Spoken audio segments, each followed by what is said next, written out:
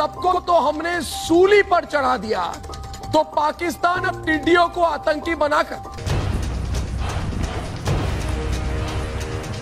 पूरे बाबरे आगे अरे बट बंद करो खटर छट यार। जल्दी आओ ना भाग क्या कर रहे हो? पा रहा है? ऐसे कमज़ोर और कायर पाकिस्तान से पूछता है सारा भारत दोस्तों कि क्या आतंकियों के बाद भारत में टिड्डियों वाली साजिश कर रहा है पाकिस्तान?